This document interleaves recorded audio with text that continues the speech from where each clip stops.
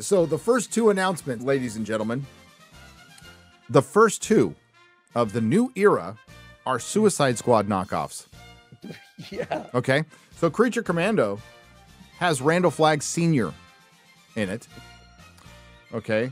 Uh, and it's also got, you know, G.I. Robot, Dr. Phosphorus. Um, and then the second one was Waller, was Waller's, which is Team Peacemaker, which is his wife's show, was announced before Superman, Batman, Wonder Woman, Flash, Green Arrow, Green Lantern, before everybody. His wife's show was the second thing announced. I mean, dude, save it for later. Nerdrotic.com. The more I think about it, uh, the worse it gets. it was underwhelming. Uh, and there's some stuff that I like for sure in it. Uh, I would say there's some the good, the bad, and the DOA.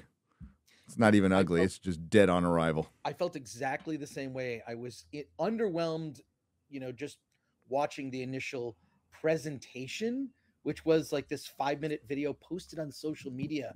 Not a lot of fanfare there. There was a press event, which resulted in all these stories providing more details. But um, I, I felt the same way as you, Gary. I listened to a lot of other people talk about it just the more I think about it, the less I like it. Like it seems, you know, when we knew with Marvel, right, you had all these individual movies, Thor, you know, Captain America, the first Avenger, Iron Man, leading to what we knew would be the inevitable Avengers, the team up, right? Like amazing. I, I don't know where this is going. It seems middling. It seems self indulgent on James Gunn's part to go to pick sort of like, and look, you know, I, am not aware of the what is it, creature? What is that one? The creature squad. I, I, can't even remember the name, but it's like he's picking an obscure a creature group. commandos. Creature Commandos. Okay. It's an obscure group for me. Okay. Which I'm sure is like, it's just going to be another. James Gunn has to show that he's capable of doing a movie that isn't a James Gunn movie. This is like Guardians was a lot like Suicide Squad and Creature Commandos is probably well, this, thing. This is the Suicide Squad universe. I mean, that's what it is. There's there's two there's three Suicide Squad type shows in this. I, I, this is the thing is like I think Maybe James four. is very good at taking an obscure character, making them likable, relatable, because we don't have a preconceived notion of what that character is, but we do have preconceived notions about what Superman should be or Batman should be. And the fact that he's rushed headlong into, you know, telling Superman and Batman stories that involve families. Uh, I, I, I, don't know, man. Like we're rushing, we're we're going past like four other Robins, right? Isn't it like what Jason Todd, Dick Grayson?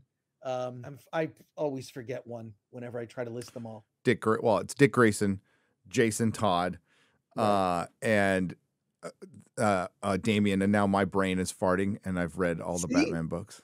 God, I hate you. I am farting on that. One. I hate you. Sorry, DC dead cut. Tim Drake. God damn it. Drake, uh, senility hits in uh, er, early. Yeah, they passed up a bunch of Robins. The Superman title is, I think, the most worrisome. Superman Legacy. So that's that's usually what you leave behind right? Yes. And and he straight up said, "We're going to use these characters to prop up other ones." I'm like, "That's what's been going on in Hollywood for 5 years. That's what Marvel has been doing in Phase 4. It's called a bait and switch." I mean, and, legacy legacy is what you leave behind when something is over, right? A legacy. And and th- that title is yeah, the more I thought about it, I the, the more I thought about it cuz I watched the presentation like 3 times and I thought one of my other thoughts was he clearly did not run this by the marketing department because the pre-prepared statement that James read, he says the word fantastic like three times and marvelous and, three times and marvelous, which I think was like a dig at Marvel. Which oh, is, there's there's a there is two definitive passive aggressive digs at Marvel. Well, I think I think they earned those in my opinion. If I was James Gunn, I'd probably feel the same way. But um, I'm just disappointed because I've been I, I've been going to Comic Con since since 89 was my first one it wasn't even what it is right but all through the 90s and and you know up to the present never missed a san diego comic-con there is some uh, marvel has perfected the they put on it's like a it's like a rock concert. It's huge. It's like a concert event when they present and they're just showing you logos and teasers. There was nothing. There was here's some here's some uh, uh, pictures of comic books you may be familiar with, and we're gonna make movies based on those. Uh, God, I remember when like Zack Snyder just debuted the logo for Batman v Superman. People went nuts. Uh, it was awesome that logo with the two logos entwined. And there's just something to a showmanship. And I would have thought that like James Gunn would be aware of that, that he should have said nothing and then shown something at San Diego Comic Con. And I think that he jumped the gun, so to Uh, speak. yeah, th- I Uh, think fire, Much you know?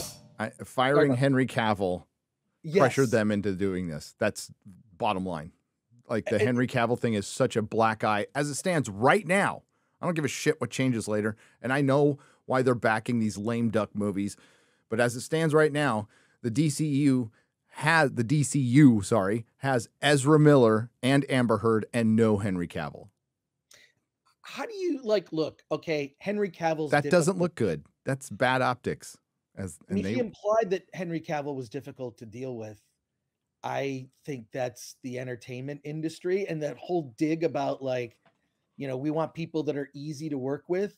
So the only person missing out of the picture is Henry Cavill. Implying that is bad kinda- optics. It might not be true. I mean, James Gunn came out and said, "Hey, Henry Cavill has been dicked around," which he has. He called out his own former management, but that's still your like you don't hear that ever uh, from somebody who's currently working about uh, talking shit about um, a, a previous management. Although they earned it, they absolutely earned it. Like all all the you know. Zack Snyder fans or not Zack Snyder fans, I think we can all come together under the umbrella that the Warner Brother managed previous management was garbage, absolute garbage. They were terrible. They fueled all the failures. It was all their fault.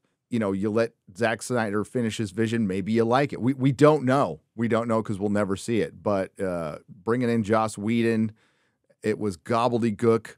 Uh, I still think there's a you know probably a decent David Ayer cut out there, but Mhm. uh, all this is like you can't unmake the soup. It's all done now. It's all freaking done, and you're on your third reboot. And if it wasn't James Gunn, like this thing would like I doubt it would even get off the ground. It'd be dead.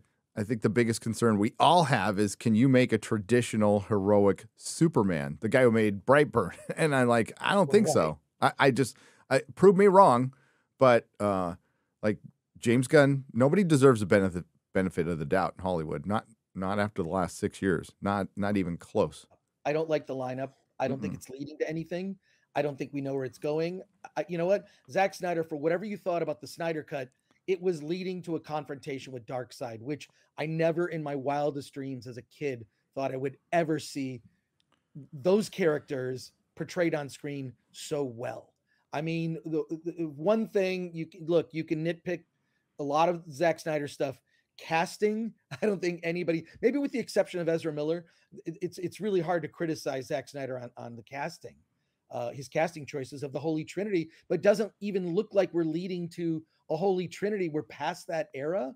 Is this where they're starting? They're starting in the middle of the story. It's just, and you pointed out right at the beginning of what you were saying, Gary, like like this is like the third start for this. Is are they going to just are they going to let him finish? What if he has some bombs? Look, you can excuse the Suicide Squad for not performing as well as it did because of the era in which it was released. Most movie theaters still weren't open And they streamed it. And they streamed it the same day, which is so stupid. Um, that that's just going to kill your business. I saw somebody uh, in uh, the TMNE chat put out, I, I think it was their chat, put up that uh, this is equivalent to Marvel Phase One being um, Iron Man, The Eternals, Shang Chi, Captain Marvel, and Captain America, and I, I could not agree more. That's Yeah, that's what it, it's. You're putting a lot of carts before the horse, including the authority, dude. There is as much cringe as I, I'd say. There's like three things that I would like. Hey, I'm down for. Let's go. I'm gonna watch them. And then there's three things that are these. Uh, what are you talking? They're the most 22, 2022 things you can put out. Uh, Waller, freaking Waller, uh, Paradise, Lost, like just the wor- I mean, just most basic bitch title for Themyscira, the all-female Game of Thrones. oh my god! Right. And the Oh authority. Now, by itself, it would be fine. I think as an HBO Max series, as an Elseworlds HBO Max series, it would be fine. Incorporate, which they did. I know they did, and I didn't like it, and I don't like it. The Authority uh, is a Justice League knockoff. That's what they are, with a gay Batman and a gay Superman, and you're introducing them before most of the Justice League and the Justice League in your Phase One, in your Chapter One. That makes no sense, none. So I'm not too sure about storytelling, and of course, we can talk about a couple of people who are in that writers' room that he got together. I mean, Drew Goddard's there. Great. That's fantastic. He's behind Daredevil season one. That and I know he's close to James Gunn, and he's legit. Tom King and the writer from The Watchmen, major red flags. Every single red flag should go up that Tom King is involved, or at least they're basing uh, uh, one of the major films on his story. And the, the fact that like James Gunn thinks it's good is mind boggling because Tom King is everything wrong with modern Marvel comics, like personified in one single human being. Again, there are some projects that sound like, hey, that's a good idea. That's a good idea, but it's surrounded by muckety muck and gobbledygook. In the meantime, you have some lame duck movies, you have a lot of time, and you have more time for Marvel to poison the well with their superhero fatigue, which is not James Gunn's fault. It's not. Uh, but the superhero fatigue that is most definitely setting in is Marvel's fault for spamming content. There would have been a time, like I know DC fans are, and I am too. I think they, they should have done the Elseworld thing fucking years ago. And DC has major advantages over Marvel. They can do a hard R swamp thing. Fuck yeah, let's go. And they could do a rated R Batman and a PG Batman all at the same time. And they could call it Else- Elseworlds. And you could have trained the general audience to know what an Elseworlds title is. But I think that that ship has sailed because it's so confusing now. Again, the comic fans are like, what? It's easy. It's not for for the general audience. It's just not. It's it's going to be majorly confusing. So uh, James Gunn is behind the eight ball, and I don't think he helped himself with this announcement at all. Nerdrotic.com. Please subscribe. Hey, if you like what we do here at Nerdrotic Daily, please like, share, and subscribe. And if you could do that with your favorite YouTuber as well, I'm sure they would appreciate it as much as I do.